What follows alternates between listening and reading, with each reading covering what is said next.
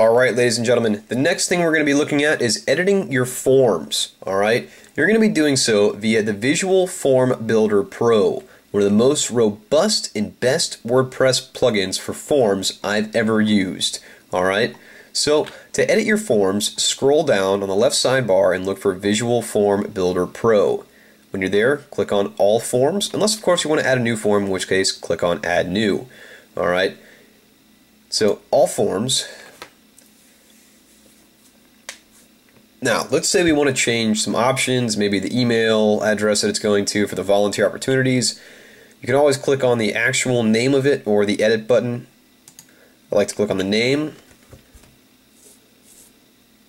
Once that page loads, here's where we're going to be making our changes. Let's say we want to add a new connection team option.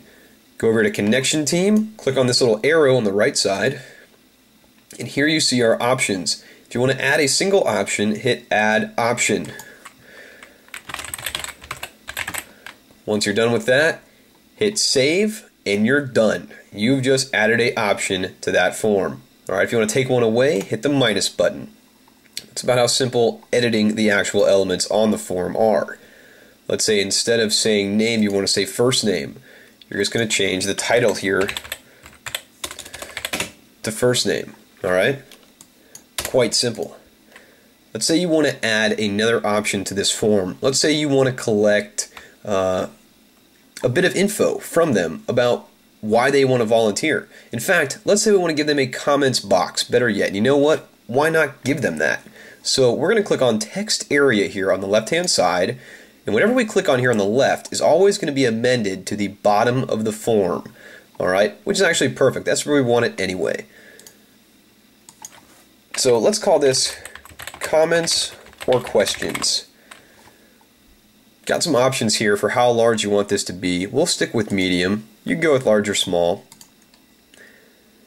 And then we're going to go ahead and just simply hit save form. Now if we take a look at our website, let's see if that did indeed come up.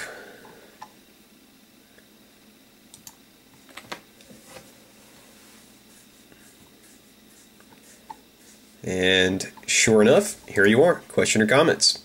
All right, so that's about as simple as it is. Actually, that's about as simple as it ever could be to edit a form within your website. All right, now let's look at changing the email address a form goes to. All right, in order to do that, you're going to click on Settings once you're inside of the form, and then you're going to come down here to Email. All right, here's where you're going to change things emails to. All right, you're going to want to change this to go to whatever email you want it to go to, or simply hit add, and you can add another emails to. All right, this way the form actually gets emailed to two or more people, as many as you prefer. All right, once you've done that, again, make sure to hit the save option right up here. And there you go. You've just edited the actual functioning functionality of the form. All right, See you in the next video.